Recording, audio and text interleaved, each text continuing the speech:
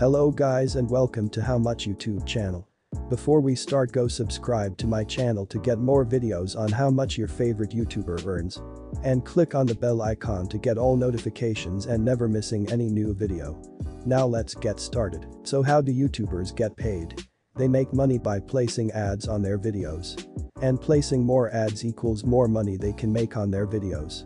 The second thing is CPM it means the cost per thousand views. It's the amount of advertiser pays to have his ad in your video. And they spend on average $4 per thousand views. And it's calculated based on how many people watch the video and from where they are watching.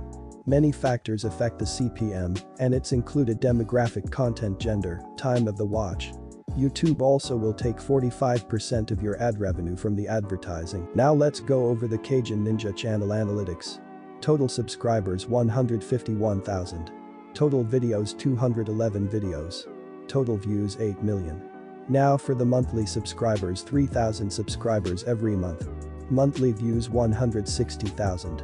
And now for the income. The monthly income will be 160,000 views multiplied by 0.002 equals $320 every month. And for the yearly income will be $320 multiplied by 12 equals $3,840. Thank you guys for watching. Don't forget to like, comment, and subscribe. And let me know who the next YouTuber you want me to do next.